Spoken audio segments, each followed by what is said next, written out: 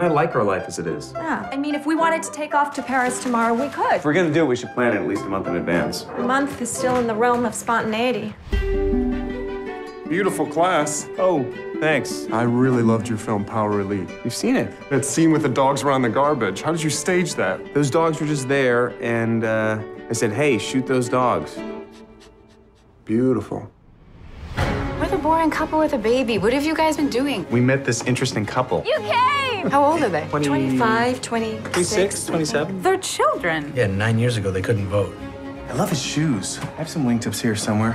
I stopped wearing them when I got shin splints. What kind of class is this again? Hip hop. And true gangsters don't speak. There's something about being around them that energizes you. You have arthritis in your knee. Arthritis? Arthritis? Yes. I usually just say it once. I remember when this song was just considered bad. But it's working. I'm gonna be totally honest with myself. I don't think I'm ever gonna die. I know that's crazy. It's crazy. We've got this ayahuasca ceremony this weekend with Jamie and Darby. What's an ayahuasca ceremony? You drink this sludgy liquid and you vomit up your demons. Okay.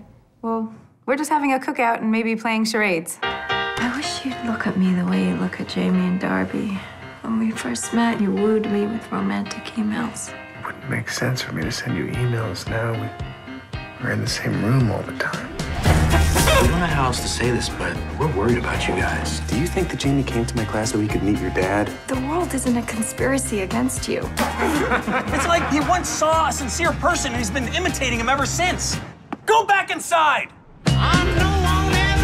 For the first time in my life, I stopped thinking of myself as a child imitating an adult. Feel that way too? What is that, a hoedown? Hip hop.